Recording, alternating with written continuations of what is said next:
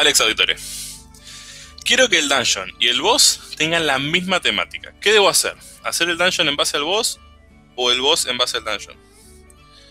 Elegí una temática y, y que todo gire alrededor de eso. Por ejemplo, se me viene ahora mismo a la mente un dungeon y un boss que tiene la misma temática, que son arañas. Todo el dungeon va a estar lleno de telarañas y va a haber... Eh, Va a haber tipo huevos de araña para que los jugadores abran y vean qué tienen adentro. Tal vez hay gente eh, envuelta en estas telas de araña y, y, los enemigos pueden ser otras arañas o alguna suerte de, aberraciones arácnidas. Y el boss final, no sé, alguna super araña gigante o la reina de las arañas, cosas así. Entonces, si vos querés que tenga la misma temática, lo que tenés que pensar primero es la temática y después que, se aplique a los dos. Nacim Santos. Hola Leo, últimamente siento que mis combates se vuelven algo lentos. Consejos para que sean más dinámicos. Y más cuando son combates con muchos NPC aliados y enemigos, pero no parecen combates masivos. La velocidad del combate es, es realmente difícil. Primero, tenés que tener en cuenta que los jugadores normalmente se toman tiempo para pensar sus acciones. Vos tenés que ese tiempo que se toman, podés decir, bueno, tienen 45 segundos y poner un reloj. Esto va a agilizar el combate siempre, constantemente, porque ellos van a tener menos tiempo para pensar, vos le podés decir que piense sus acciones en el turno de los demás, porque tiene muchos NPCs, tiene muchos enemigos, hasta que vuelva la ronda de ellos se tarda. Eh, también es posible que haya una persona que cuando llega su turno no sabe qué hacer y se toma mucho tiempo para pensar. El consejo que tengo y el que siempre doy, por más que sea severo, es contarle el tiempo, ¿no? Llega a los 45 segundos, sigue sin tomar acción. 5, 4, 3, 2, 1. Si no toma una acción para ese momento, su personaje toma la acción de esquivar. Es, es feo perder un turno en D&D, pero le está quitando tiempo a los demás jugadores. Entonces, se va a sentir mal una vez y vos después le vas a decir, bueno, mira, disculpa, pero había que agilizar. Pero una vez que le pase eso, nunca más va a perder un turno. Nunca más va a perder un turno. Va a tratar de hacer las cosas lo más rápido posible. Y Después, lo que podés hacer es darle importancia a la parte del combate de los jugadores contra sus enemigos. La de los NPCs y contra, contra monstruos, en las que solo vos estás tirando dados, esas podés obviarlas completamente. Podés usar, si querés, si necesitas los números, podés usar los, números que aparecen en. Los números, los números fijos, viste que en las tiradas te aparece un de 6, 3, entre paréntesis, de daño usás el número fijo y listo, ahí se termina, porque no tenés que estar haciendo cálculos de sumas nada, no, hace 7 de daño, hace 8 de daño. Y de esa manera, todas esas tiradas que tardan en hacerse se van a reducir en simplemente anotar los números. Y si no querés hacer eso, podés no hacerlo y podés ignorar esa parte y resolver la voz después, narrando. Juan Ignacio García, ¿cuál dirías que es el peor error y más común en los DMs? No sé si más común, pero un error muy feo es quitarle la libertad que tienen los jugadores a la hora de tomar acciones. Que es, ese es el límite del poder del DM. Cuando uno de los jugadores va a, tomar una, va a tomar una acción y el DM le dice, no, no podés, eso no se hace, tenés que hacer otra cosa, y, el DM empieza a tomar decisiones por el jugador, se, pierde la estructura del rol. Los jugadores son solo van a tener sus personajes, pero van a, estar, van a ser completamente libres en sus acciones. El DM va a tener el resto del mundo y va a ser completamente libre en el resto del mundo, excepto en esos tres, tres o cuatro personajes. Eh, en cuanto a más común, yo creo que es muy común que eh, la falta de preparación para las sesiones, eso es bastante común, o por lo menos es lo que me encontré. No hace falta describir detalladamente todos los stats y cada uno de los monstruos que hiciste, pero sí más o menos saber de qué se va a tratar la sesión de hoy, qué hicieron la última vez, qué quieres que hagan la próxima, y tener más, más o menos una idea sobre de qué va a ser hoy la tarde. E, es, la responsabilidad del DM.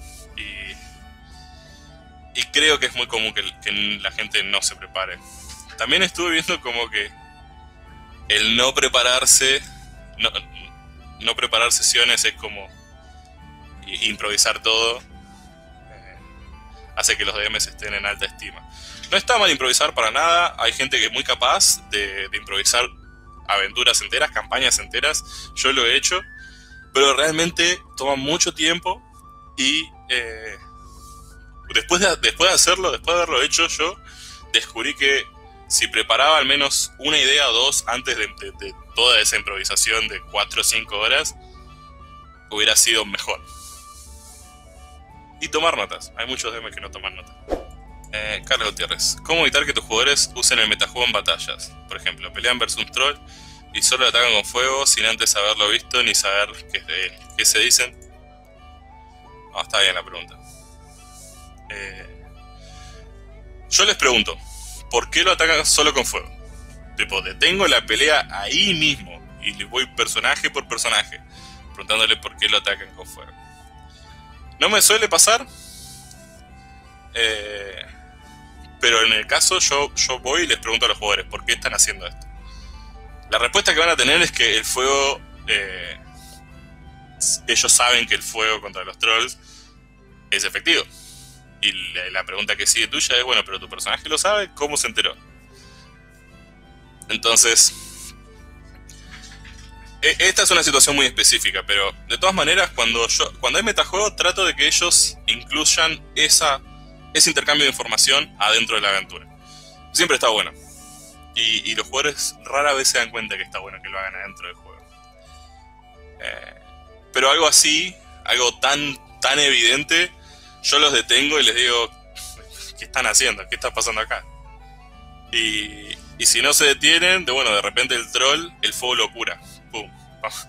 Sigamos. Y modificás el juego. Eh, te va a llevar a eso, no para que estés en contra de los jugadores, sino para que ellos le pongan más ganas a la hora de jugar, porque se siente feo. Eso, se me imagino, se debe sentir horrible que pones un enemigo y el jugador que leyó el manual de monstruo te dice, ah, es débil contra electricidad. Todos atacan con electricidad. Y ninguno de los personajes sabía eso. Y probablemente vos como DM decís, no, pero yo lo puse acá por una razón específica, quería que ellos aprendan que es débil la, electricidad porque hay una trampa eléctrica más adelante, algo, lo que sea. Se debe sentir feo, así que yo detendría ahí la, situación y les digo, ¿por qué está pasando esto? Razu Roll, eh, eh Razu. ¿Qué sistema recomendás para un one shot de terror para novatos? Pensá que lo voy a dirigir y también que voy a tener que aprender el sistema. Hay Sistema de terror. Hay, hay cortitos. Uy. Hay uno de Tulu, ¿cómo se llamaba? Tulu Dark, creo que es.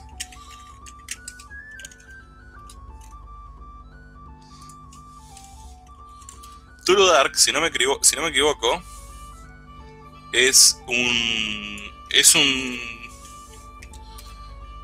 es un sistema de Tulu de una sola hoja o de en aquel momento sí tiene cuatro hojas el manual, cuatro carillas. Busca Tulu Dark, ahí lo voy a poner en el. Tulu Dark. Ahí lo puse en el, en el chat.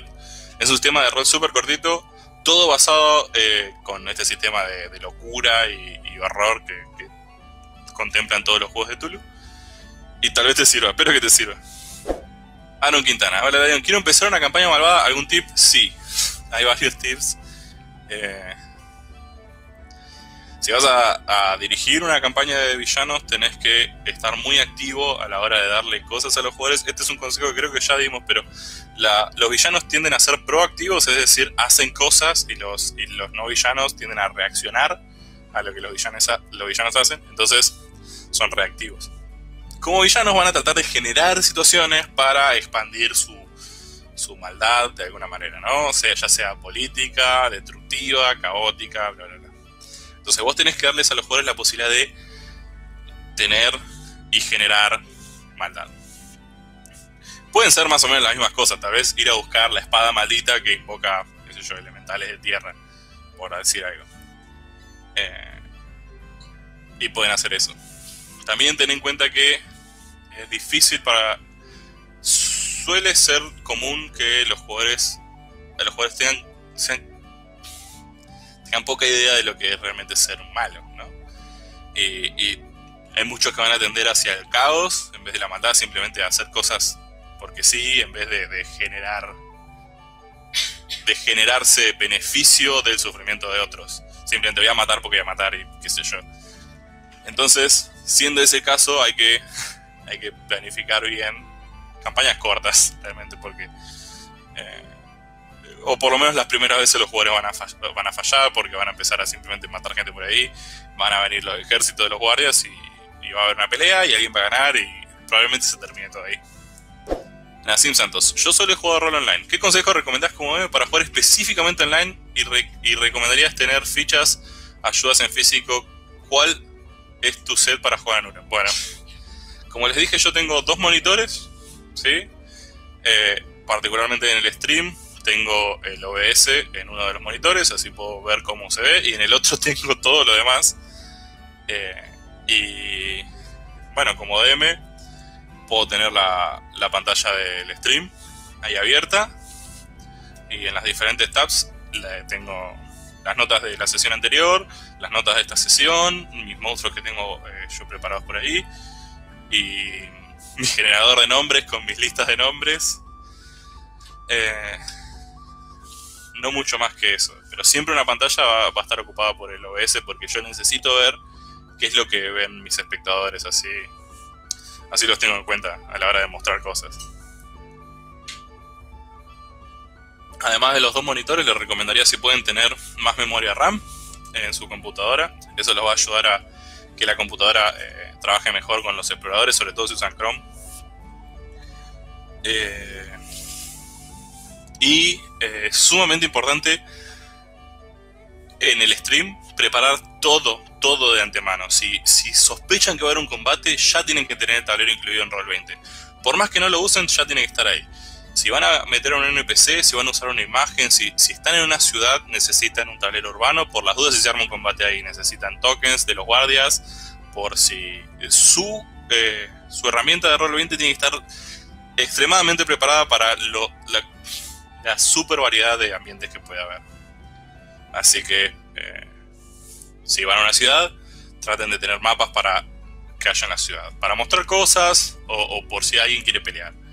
Si, si, van a una montaña, lo mismo y así para todos lados.